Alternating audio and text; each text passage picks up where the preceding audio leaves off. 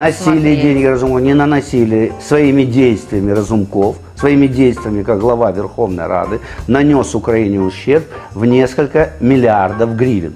Вот о чем надо говорить. Он совершенно сознательно, осознанно, как человек, влияющий на процедурные вопросы Верховной Рады, сделал так, чтобы депутаты не проголосовали за ускоренную процедуру. Это откладывает процесс рассмотрения на следующий период и затягивает принятие этого решения как минимум на месяц, а то и на два. Ну, у вот что не- сделал Разумков.